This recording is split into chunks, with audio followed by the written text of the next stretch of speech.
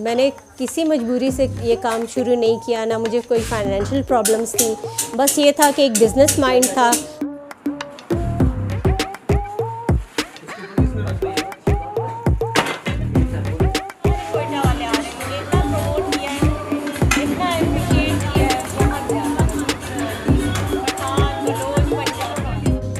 ये जो मैंने रेस्टोरेंट का काम स्टार्ट किया है और ख़ास तौर पे ये ढाबा स्टाइल और ये चाय पराठा, हमारी फैमिली में इस तरह कभी भी किसी ने ये काम नहीं किया।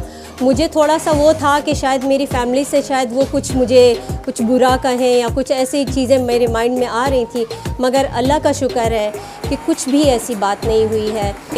मेरे रिलेटिव्स ने मुझे कॉल करके मैसेज करके मुझे अप्रिशिएट किया है। मेरे जो कस्टमर्स थे, उन्होंने बहुत अप्रिशिएट किया कि हम आपको सपोर्ट करते हैं।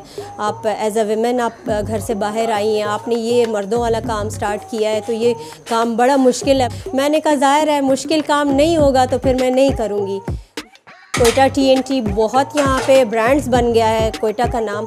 इस वजह से मैंने सोचा, क्योंकि किसी औरत ने आज तक ये बिज़नेस स्टार्ट नहीं किया तो मुझे ये आइडिया आया कि चले फ़र्स्ट वीमेन मैं होती हूँ कि ये काम स्टार्ट करूँ। बिज़नेस एक अलग चीज़ है तो इसका मुझे पता नहीं था, मगर लोगों ने बहुत हेल्प की है मेरी।